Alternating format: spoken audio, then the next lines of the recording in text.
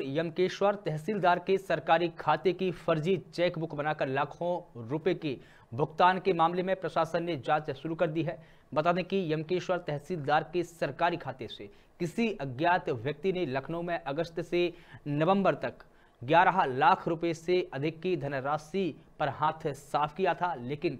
तहसील प्रशासन को इसकी भनक तक नहीं लगी।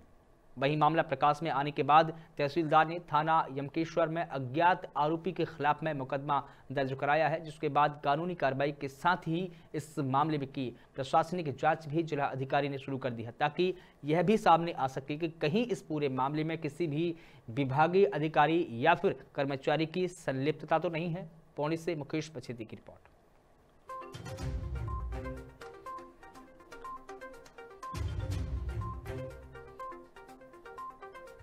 तहसीलदार के स्तर पे ऑपरेट होने वाले इस खाते में से 11 लाख रुपए जो निर्गत हुए हैं और बिना उनकी सहमति या फिक्स चेक्स के बेसिस पे हों, उसमें तहसीलदार स्तर से एफ़ आई भी की गई और साथ ही एडमिनिस्ट्रेटिव इंक्वायरी भी सेटअप की गई है, जिसमें एसडीएम श्रीनगर के द्वारा